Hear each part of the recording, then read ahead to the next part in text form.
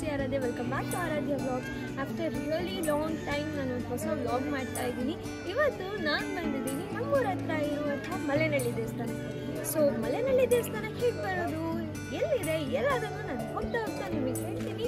So ಈಗ ನಾನಿದ್ದೀನಿ ಮಲೆನಳ್ಳಿ ದೇವಸ್ಥಾನದಲ್ಲಿ ಈ ಯಾವ್ಯಾವ ಪೂಜೆ ಎಲ್ಲದನ್ನು ನಾನು ನಿಮ್ಮ ಈ ವ್ಲಾಗಲ್ಲಿ ತೋರಿಸ್ತೀನಿ. ಅದಕ್ಕಿಂತ ಮುಂಚೆ ನೀವೇನಾದ್ರು ನನ್ನ ಚಾನಲ್ ಆರಾಧ್ಯ ವ್ಲಾಗ್ಸ್ಗೆ ಸಬ್ಸ್ಕ್ರೈಬ್ ಮಾಡಿ ನಾನು ಈಗಲೇ ಹೋಗಿ ಸಬ್ಸ್ಕ್ರೈಬ್ ಮಾಡಿ. ಅದೇ ರೀತಿ ಬೆಲ್ ಐಕನ್ ಮೇಲೆ ಕ್ಲಿಕ್ ಮಾಡಿ. ಮುಂದೆ ಇನ್ನು ಯಾವುದೇ ವಿಡಿಯೋಸ್ ಬಂದು ನೋಟಿಫಿಕೇಶನ್ಸ್ ಮೂಲಕ ನೋಡ್ಬೋದು.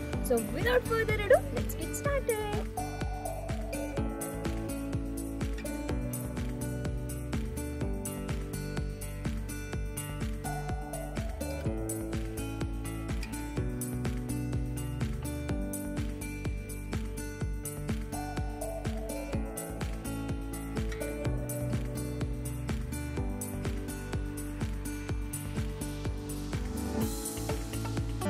ಈಗ ನಾವು ಚಿಕ್ಕಮಗಳೂರು ಹತ್ರ ಇರುವಂತಹ ಮಲ್ಲೇನಹಳ್ಳಿಯ ದೇವಿರಮ್ಮ ದೇವಸ್ಥಾನಕ್ಕೆ ಹೋಗ್ತಾ ಇದ್ದೀವಿ. ಆನ್ ದ ವೇ ನಮಗೆ ಸಿರಿ ಕೆಫೆ ಸಿಗುತ್ತೆ. ನೀವು ನೋಡ್ಬೋದು ಇಲ್ಲಿ. ಬ್ಯೂಟಿಫುಲ್ ಲೇಡಿ ಇರ್ತಾರೆ. ಇದನ್ನು ಕೂಡ ಒಂದಿನ ನಾನು ಬ್ಲಾಗ್ ಮಾಡ್ತೀನಿ.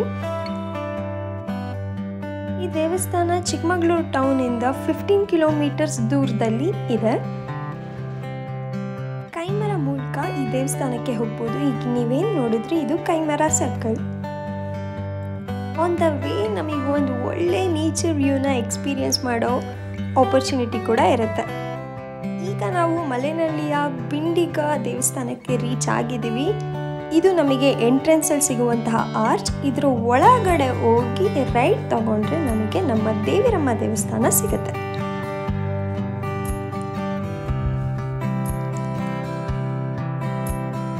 ಪ್ರತಿ ವರ್ಷ ದೀಪಾವಳಿ ಹಬ್ಬದ ಟೈಮಲ್ಲಿ ಮಾತ್ರ ಮೇಲಿರುವಂತಹ ದೇವಿ ಅಂದರೆ ದೇವಿರಮ್ಮ ಬೆಟ್ಟ, ಅಲ್ಲಿ ನಿಮಗೇನು ತುದಿ ಕಾಣಿಸ್ತಾ ಇದೆ, ಅದು ದೇವಿರಮ್ಮ ಬೆಟ್ಟ.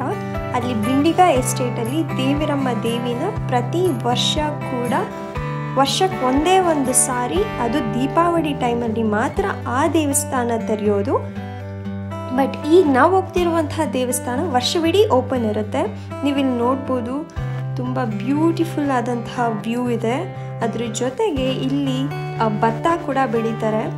ಒಂದೊಳ್ಳೆ ನಿಸರ್ಗದ ಒಳಗಡೆ ಇರುವಂತಹ ದೇವಸ್ಥಾನ ಅಂತಲೇ ಹೇಳ್ಬೋದು. ಈ ದೇವಸ್ಥಾನ ನಿಮಗೆ ಪ್ರತಿದಿನ ಬೆಳಗ್ಗೆ ಹತ್ತು ಗಂಟೆಯಿಂದ ಮಧ್ಯಾಹ್ನ ಎರಡು ಗಂಟೆ ತನಕ ಓಪನ್ ಇರುತ್ತೆ. ಮತ್ತು ಸಂಜೆ ಐದು ಗಂಟೆಯಿಂದ ಏಳುವರೆ ತನಕ ಓಪನ್ ಇರುತ್ತೆ.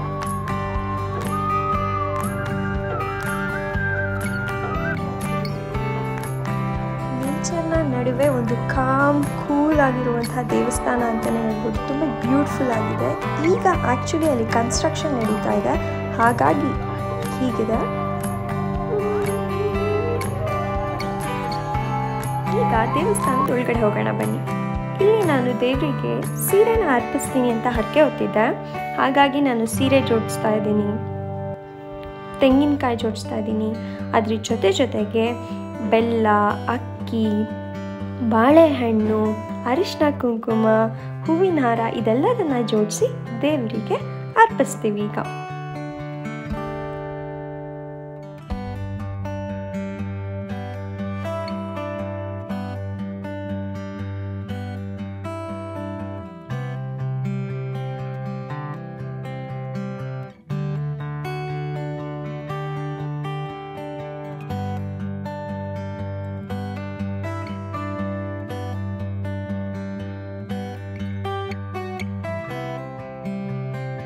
ದೇವಸ್ಥಾನದ ಒಳಗಡೆ ನಮಗೆ ಕ್ಯಾಮ್ರಾಸ್ ಅಲೋಡ್ ಇಲ್ಲ. ಹಾಗಾಗಿ ನಾನು ಎಷ್ಟು ಸಾಧ್ಯನೋ ಅಷ್ಟು ಕವರ್ ಮಾಡಿದ್ದೀನಿ. ಝೂಮ್ ಮಾಡಿ ನೀವು ನೋಡ್ಬೋದು.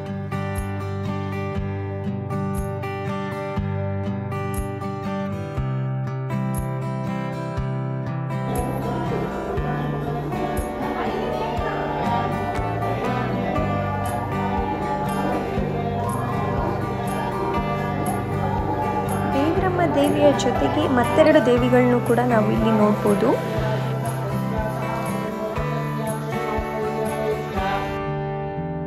ಪ್ರತಿದಿನ ನೂರಾರು ಜನ ಇಲ್ಲಿ ಭಕ್ತಾದಿಗಳು ಬರ್ತಾರೆ. ಇಲ್ಲಿ ಹಲವಾರು ಪೂಜೆಗಳು ನಡೆಯುತ್ತೆ, ಕುಂಕುಮಾರ್ಚನೆ ನಡೆಯುತ್ತೆ. ಅದೇ ರೀತಿ ನಿಮಗೇನಾದ್ರು ಅನ್ನ ದಾನ ಮಾಡಬೇಕು ಅಂತ ಇದ್ದರೆ ದಾನ ಕೂಡ ಮಾಡ್ಬೋದು. ಈಗ ನಾನು ತೋರಿಸ್ತಾ ಇರುವಂಥದ್ದು ಅಲ್ಲಿ ಸರೌಂಡಿಂಗ್ಸ್ ಹೇಗಿದೆ ಅಂತ. ನಾನು ಆಗಲೇ ಹೇಳ್ದಂಗೆ ಕನ್ಸ್ಟ್ರಕ್ಷನ್ ನಡೀತಾ ಇದೆ. ಈಗ ಈ ದೇವಸ್ಥಾನದ ಹಿಂಭಾಗದಲ್ಲಿ ಒಂದು ಗಣಪನ ದೇವಸ್ಥಾನ ಕೂಡ ಇದೆ. ಅಲ್ಲಿಗೆ ಹೋಗೋಣ ಬನ್ನಿ. ಈಗ ನೀವು ನೋಡ್ತಾ ಇರುವಂಥದ್ದು ಗಣಪನ ದೇವಸ್ಥಾನ. ಈಗ ನಾನು ತೋರಿಸ್ತಾ ಇರುವಂತಹ ಬೆಟ್ಟ, ದೇವಿರಮ್ಮ ಬೆಟ್ಟ. ಇಲ್ಲಿರುವಂತಹ ದೇವಿಯ ದರ್ಶನ ಆಗೋದು ನಮಗೆ ವರ್ಷಕ್ಕೆ ಒಂದೇ ಸಲ ಅದು ದೀಪಾವಳಿ ಹಬ್ಬದ ಟೈಮಲ್ಲಿ ಮಾತ್ರ. ದೀಪಾವಳಿ ಹಬ್ಬದ ಹಿಂದಿನ ದಿನ ರಾತ್ರಿ ಒಂಬತ್ತು ಹತ್ತು ಗಂಟೆಯಿಂದ ಕೂಡ ಜನಗಳು ಕರ್ನಾಟಕದಿಂದ ಸಾವಿರಾರು ಜನ ಭಕ್ತಾದಿಗಳು ಆ ಬೆಟ್ಟನ ಹತ್ತಕ್ಕೆ ಶುರು ಮಾಡ್ತಾರೆ. ಆ ಬೆಟ್ಟ ಬಿಂಡಿಗ ಎಸ್ಟೇಟ್ ಒಳಗಡೆ ಇರುವಂಥದ್ದು. ನಾನು ಮೂರು ಸಲ ಹೋಗಿದ್ದೀನಿ. ಸೊ ಹಾಗಾಗಿ ಅದು ಒಂದು ಫೇಮಸ್ ಟೆಂಪಲ್ ಅಂತಲೇ ಹೇಳ್ಬೋದು. ಸೊ ಈಗ ನಾವು ನೋಡ್ತಾ ಇರುವಂಥದ್ದು ಗಣಪ. ಈ ಗಣಪನ ಸುತ್ತ ಇರುವಂತಹ ನೇಚರ್ನ ನೀವು ನೋಡ್ಬೋದು. ತುಂಬ ಬ್ಯೂಟಿಫುಲ್ ಲೊಕೇಶನ್ ಇದು. ಇಲ್ಲಿ ಭತ್ತ ಬೆಳೀತಾರೆ. ನಾನು ಆಗಲೇ ಹೇಳ್ದಂಗೆ ಇಲ್ಲಿ ಬೆ, ಭತ್ತ ಬೆಳೀತಾರೆ. ಅದೇ ದೇವಿರಮ್ಮ ದೇವಸ್ಥಾನ. ಬ್ಯೂಟಿಫುಲ್ ನೇಚರ್ ನಡುವೆ ಕಟ್ಟಿರುವಂತಹ ದೇವಸ್ಥಾನ ಇದು.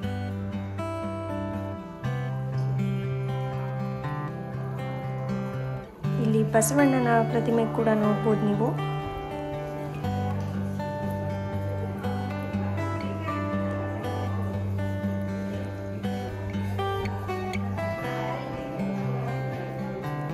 ದೇವಸ್ಥಾನದ ಸುತ್ತ ಇರುವಂತಹ ವ್ಯೂ ಇದು.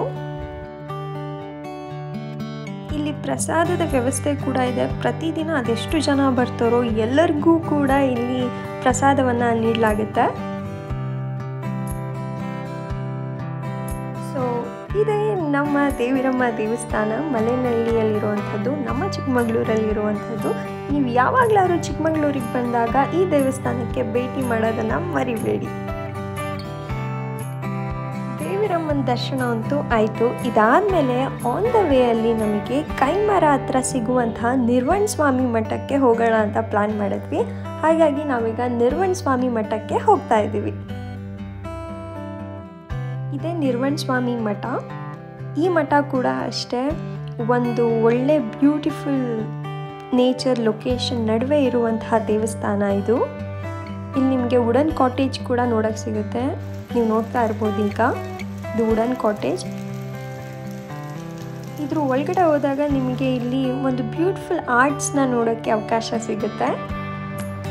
ಈಗ ನೀವು ನೋಡ್ತಾ ಇರ್ಬೋದು, ಅಲ್ಲಿ ಕಾಣಿಕೆ ಹುಂಡಿ ಇದೆ, ಕಾಣಿಕೆನ ನಾವು ಹಾಕ್ಬೋದು. ಇಲ್ಲಿ ಡಿಫ್ರೆಂಟ್ ಡಿಫ್ರೆಂಟ್ ಆರ್ಟಿಸ್ಟಿಕ್ ವ್ಯೂಸ್ನ ನಾವು ನೋಡೋಕ್ಕೆ ಸಿಗುತ್ತೆ.